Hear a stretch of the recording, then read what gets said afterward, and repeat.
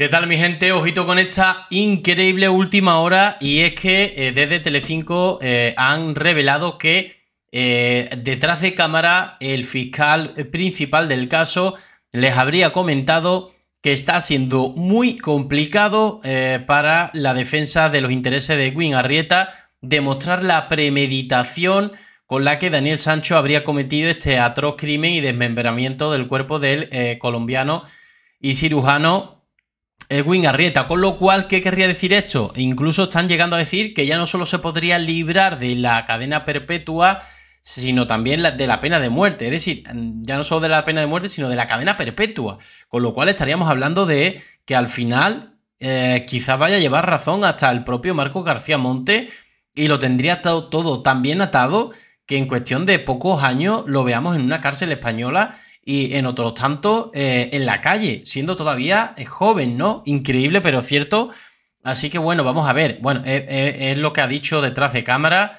Hay que reconocer que todavía el dictamen no está, que todavía faltan muchas sesiones, casi estamos en, el Ecuador de estos juicios, pero bueno, vamos a ver porque sí que es cierto que es reseñable que el hecho de que no se pueda demostrar la premeditación puede hacer que se libre no solo de la pena de muerte, sino de la propia cadena perpetua que era otra de las cosas que, se barajaba, ¿no? Así que vamos a ver cuál ha sido esta reacción de Daniel Sancho al escuchar la declaración del representante legal de la familia de Edwin Arrieta.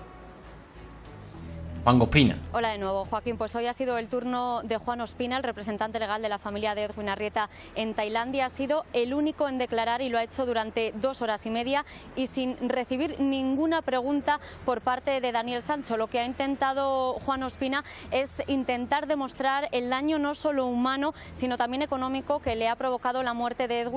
El daño humano, evidentemente, eh, que ya no está Edwin y que lo van a sufrir eh, la familia que, ya no lo tiene y el daño económico que hay que recordar que, bueno, la, la buena parte de la familia se sustentaba de él, ya no solo Darling y su hija, sino eh, los padres, pues, pues, bueno, que prácticamente vivían de ello, ¿no?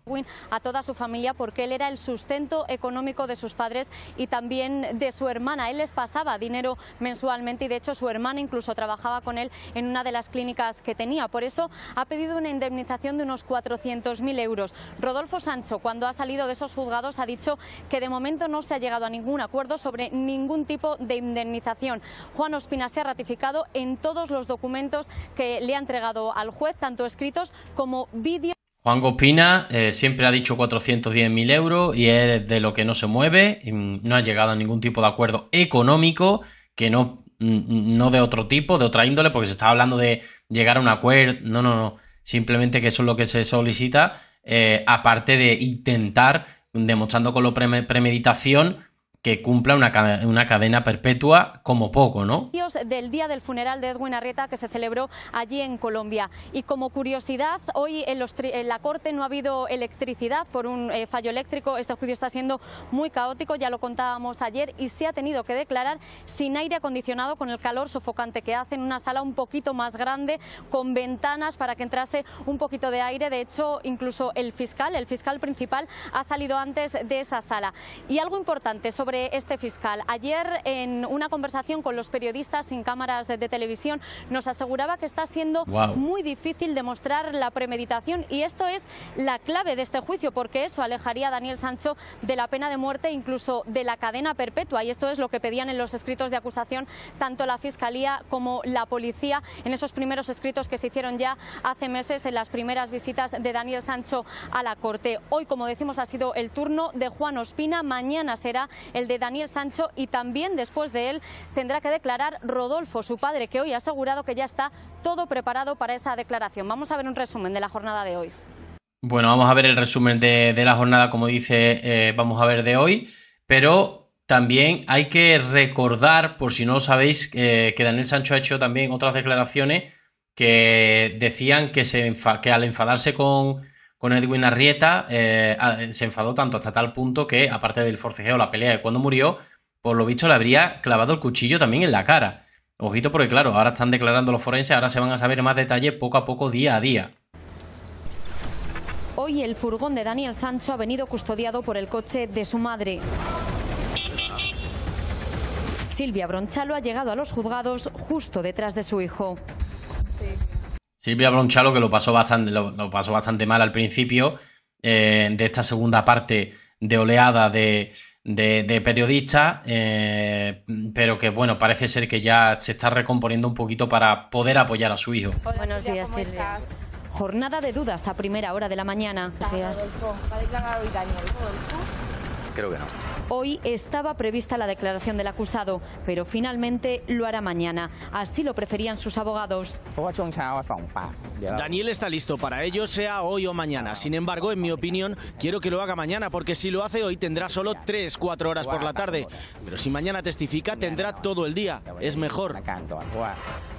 Incluso el fiscal. Bueno, al final es una estrategia judicial, hoy tenía 3 o 4 horas. Eh, piensan que necesita bastante más el abogado para explicarse, con lo cual pues prefiere que sea mañana desde bien temprano para poder tener más tiempo para eh, aclarar todo este asunto. Se ha marchado de la sala.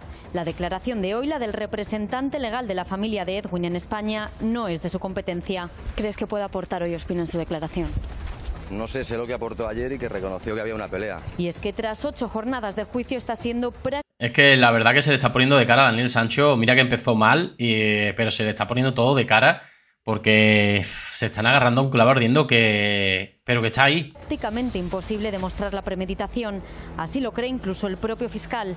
Aunque la clave será mañana, cuando declare Daniel. Bueno, yo creo que su declaración es muy importante desde una perspectiva jurídica para que el juez pueda determinar y intentar conocer si efectivamente estamos ante un plan que estaba establecido o no. No hemos escuchado una palabra de perdón, no hemos escuchado otra vez usted. Bueno, ya se dijo que no, no vamos a escuchar eso porque sería como reconocer la premeditación eh, y hasta que no haga eso, o sea, eso sería ya lo, último, el hecho de ser sentenciado a pena de muerte, ya ahí sí pediría perdón para poder, mm, digamos, permutarle a, o conmutarle a, a cadena perpetua. Eh, sí, pero yo no, un arrepentimiento, tampoco un acercamiento a, las víctimas que son la familia Rieta, por lo tanto nos hemos encontrado y con un acusado que, que sigue negando la mayor. Y... Sin embargo, su abogado tailandés ha asegurado que Daniel lamenta la muerte de Edwin.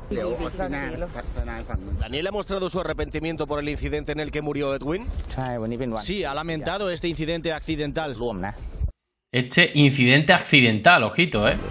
Hoy Juan Gonzalo Espina ha hablado en la sala sobre la difícil situación en la que se encuentra la familia de la víctima tras su fallecimiento. Y por otro lado vamos a explicar también el aspecto humano en el que se encuentra la familia, es decir, todo ese sufrimiento, ese profundo dolor en el que se encuentran tras eh, los hechos que ocurrieron aquí el 2 de agosto, hasta el punto inclusive que a los padres no, se les ha podido contar toda la realidad de lo sucedido porque se encuentran en una profunda depresión y ansiedad. Además ha presentado documentos para intentar demostrar que Edwin era el sustento económico de sus padres y es lo que os decía al principio del vídeo, es que ya no solamente es en lo moral, que te falta el hijo, que te falta el hermano, que te falta el tío, en el caso de la sobrina, la hermana y los padres respectivamente, sino también el sustento económico de esas personas eh, en, la, cual eh, pues eh, en este caso Edwin Arrieta está permanentemente ayudando económicamente. De hecho, hay que recordar, y creo, me imagino que se podrá demostrar, por eso Juan Gospina lleva estos documentos, que incluso la casa en la que vive su hermana y su sobrina, eh, pues era anteriormente de él, de Edwin, y se la aportó pues porque, bueno, estarían viviendo, me imagino, que en una situación un poco comprometida, quizás de alquiler, en alguna casilla vieja, en alguna casita vieja, y él diría, no, no, no, yo estoy aquí trabajando para ayudaros eh, a mi familia y, ya está, ¿no? Bueno, se puede, se puede librar ya no solo de la pena de muerte, sino de la cadena perpetua. ¿Qué os parece esto? En tal caso de que así eh, determinara el juez eh, en, una, en el, en el último día del juicio. Mi gente, nos vemos en el siguiente vídeo. Un saludo.